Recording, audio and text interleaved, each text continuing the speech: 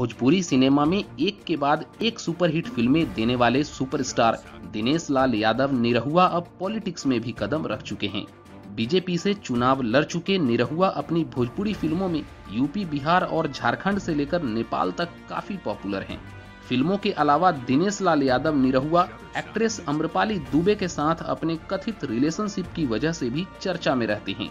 हालाँकि इस रिलेशनशिप को लेकर इन दोनों ने कभी ऑफिशियली एक्सेप्ट नहीं किया है। लेकिन ऐसा भी कहा जाता है कि इससे पहले निरहुआ एक और एक्ट्रेस के प्यार में पागल थे और तब वो सुपरस्टार नहीं थे। कुछ रिपोर्ट्स की माने तो भोजपुरी फ़िल्मों में आने से पहले दिनेश लाल यादव अपनी म्यूज़िक एल्बम और शोज़ के लिए काफ़ी मशहूर थे। और तब निरहुआ की हर एल्बम में एक हीरोइन नज़र आती थी और उनका नाम था पूनम सागर। और तब ऐसा कहा जाता था कि दिनेश लाल यादव, निरहुआ और पूनम सागर एक दूसरे के प्यार में पागल हैं। हालाँकि इसके बाद निरहुआ का भोजपुरी कैरियर एकदम उफान पर आ गया और धीरे धीरे पूनम सागर से दूर होते गए।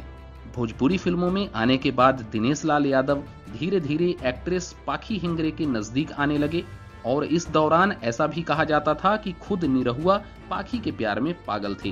वैसे अगर बात करें एक्ट्रेस पूनम सागर की तो वो भी भोजपुरी फ़िल्मों में काम कर चुकी हैं।